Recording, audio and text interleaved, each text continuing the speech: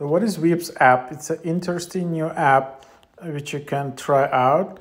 uh, it's like a everyday grocery shopping designed for mobile. Uh, uh, like premium app users can customize brand preference and favorite stores to help uh, Veebs scoring algorithms and then check the values with the brands you are shopping with.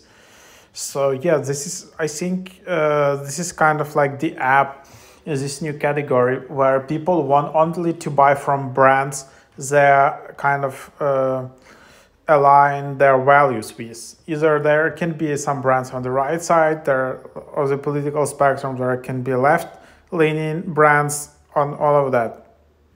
So for example, on the right side, there is like a public square app it's like a marketplace only for like right-wing shoppers. This app seems it allows you to buy grocery uh, from the. Um, I think mostly it's uh, just like a left-wing um, uh, app, and then you can just create your account just with email address and mobile number, and then you can just proceed with scanning barcodes. Uh, so that's basically the idea here. Uh, yeah, so something around that. Uh,